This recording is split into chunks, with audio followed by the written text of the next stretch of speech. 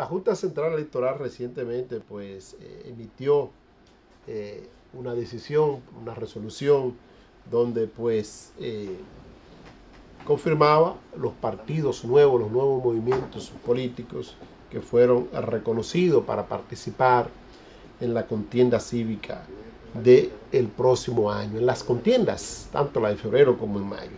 Uno de esos partidos que dejó de que no recibió el reconocimiento de la Junta y que había cumplido con todos los requisitos es el movimiento Patria para Todo, que dirige el doctor Fulgencio Severino.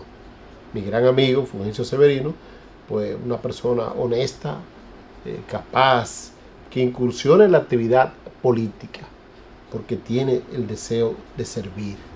¿Mm? Otro de esos movimientos que no tuvieron el, el beneficio de reconocimiento es el que dirige el ingeniero Milton Morrison. Se llama, movimiento de Milton, déjame ver cómo que se llama, eh, País Posible. País Posible.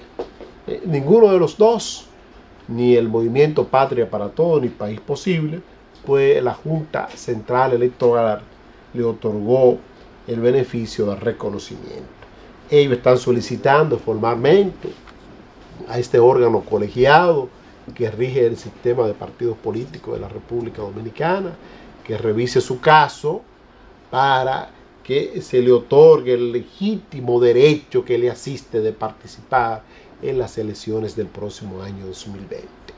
Eh, conozco muy bien a Fulgencio Severino, conozco muy bien a Milton Morrison y sé que ambos, ambos dirigentes y la gente que le sigue no buscan hacer negocio de la política. No buscan enriquecerse en la política. Lo que buscan es tener un espacio donde sus ideas se escuchen, donde la gente pueda acogerla.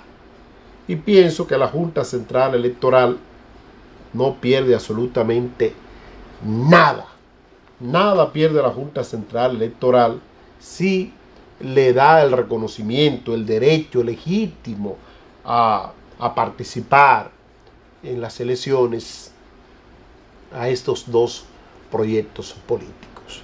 Porque hay a otros que se le ha reconocido y se le está dando la oportunidad y estoy seguro que tienen menos calidades que estos dos movimientos.